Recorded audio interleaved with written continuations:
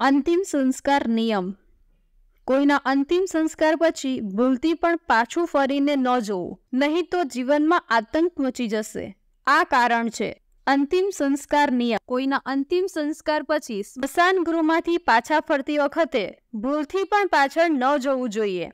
આમ કરવામાં જીવનમાં આતંક ફેલાય છે. આજે અમે તમને તેની પાછળના રહસ્ય વિશે જણાવીશું. સનાતન ધર્મમાં સોળ સંસ્કારોનું વર્ણન કરવામાં આવ્યું છે. આમાંનો એક એટલે મૃત્યુ સંસ્કાર છે. તેને અંતિમ સંસ્કાર, અંતિમ દાહ અથવા અંત્યેષ્ટિ પણ કહેવામાં આવે છે.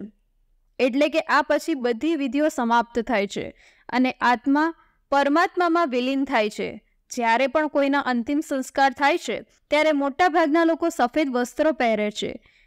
તેઓ આવું કેમ કરે છે? શું તેની પાછળ કોઈ ધાર્મિક માન્યતા કે કોઈ કારણ છે? આજે અમે તમને આ રહસ્યથી વાકેફ કરીએ છીએ. કોઈના મૃત્યુ પર સફેદ વસ્ત્રો જ કેમ પહેરવામાં આવે છે?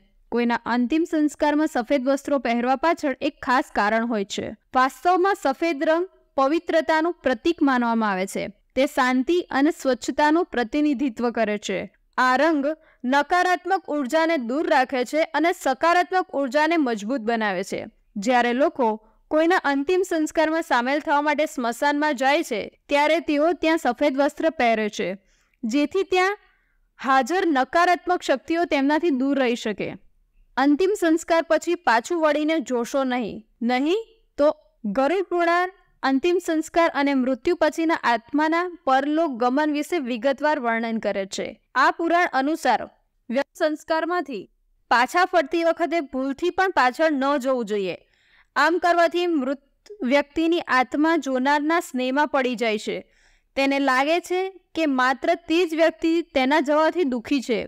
આવી સ્થિતિમાં તે આત્માને શાંતિ મળતી નથી અને આસક્તિને લીધે તે આત્મા ઘરે આવવા ઈચ્છે છે. સ્મશાનમાંથી આવ્યા પછી તરત જ આ કરો કામ. ધાર્મિક વિદ્વાનોના મતે વ્યક્તિ મૃત્યુ વિધિમાંથી પાછા ફર્યા પછી તરત જ પ્રથમ સ્નાન કરવું જોઈએ. આ સાથે પહેરેલા કપડે ધોવા જોઈએ. આ પછી આખા ઘરમાં ગંગાજળનો છંટકાવ કરવો જોઈએ. આ બધું કરવાનું કારણ એ જ છે કે સ્મશાનમાં અનેક પ્રકારની નકારાત્મક શક્તિઓ રહે છે. તેઓ તમારા કપડા દ્વારા ઘરમાં પ્રવેશી શકે છે. એટલા માટે સ્નાન કરીને અને ગંગાજળમાં છંટકાવ કરીને તેમાંથી મુક્તિ મળે છે. આમ કરવાથી આત્મા પ્રસન્ન થાય છે.